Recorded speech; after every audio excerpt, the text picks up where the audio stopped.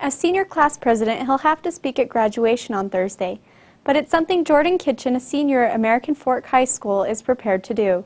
When he started high school, his goal was not to limit himself in any way, from ballroom dance and poetry clubs to participating in the Intel International Science and Engineering Fair. Kitchen says he's been involved in a lot over the years.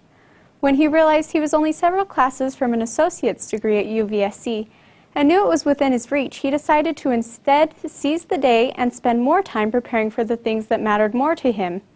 That included the Health Occupation Students of America National Leadership Conference in June. This fall, he'll attend the University of Utah, where he plans to major in nursing.